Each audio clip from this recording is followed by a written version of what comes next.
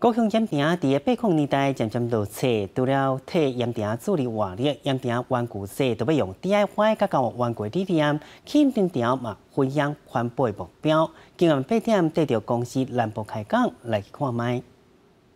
高雄盐埕区自八零年代开始愈来愈稀微，一直到最近这几年，各地艺术地区甲流行音乐中心，几多项大型公共建设起伫遮，观光客则变多。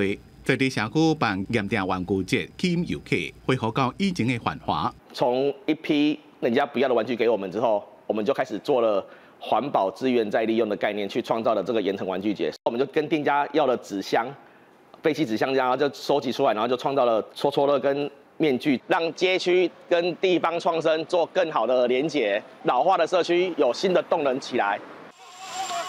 我们今天也配合玩玩具节演给小朋友看，可以来。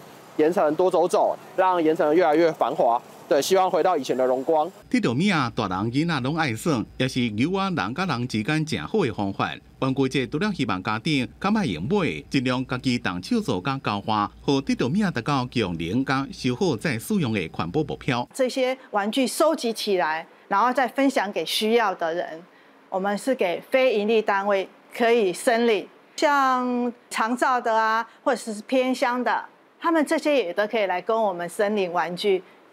我们提供了一个空间，让他们可以有做一些玩具的整理，就是刚好跟我们目前的这个永续发展的一个目标是一致的，所以我们就是持续的合作下去。玩具图书馆设伫咧学校内边，当年拢会办玩具活化节，甲回收的铁路米啊集中做会整理分类，派去修理又好，或者是发挥创意，设计成做另外一种功能的铁路米啊再使用。和每一个铁道物啊，拢会当互我，尽量个使用。